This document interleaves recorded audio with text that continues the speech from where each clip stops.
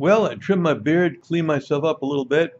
I was starting to look like a vagrant there for a couple of minutes or a couple of days. Hey, lady, you got a dollar?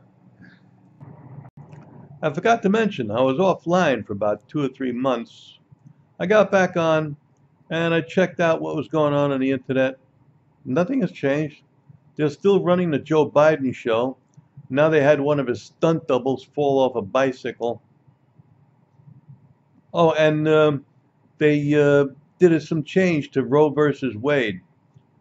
All they did was they gave the states the power to enforce Roe versus Wade the way they choose.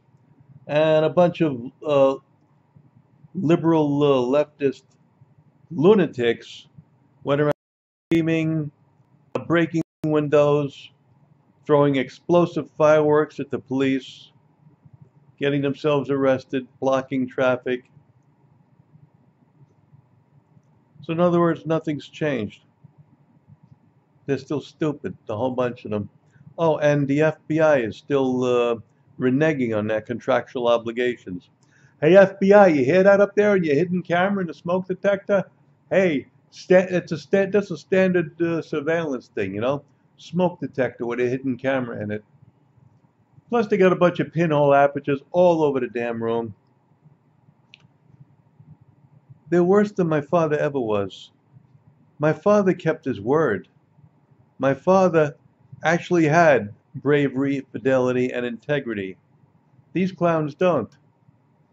Hey, show me some bravery, fidelity, and integrity. Tell me the truth about the inheritance. Stop dragging your feet. See what they're doing? Just like my father said they would. The will isn't going their way, the contract is not going their way, so they're just ignoring it. Every single deadline has come and gone. Yo, FBI, hey, you listening? Knock, knock. Anybody home?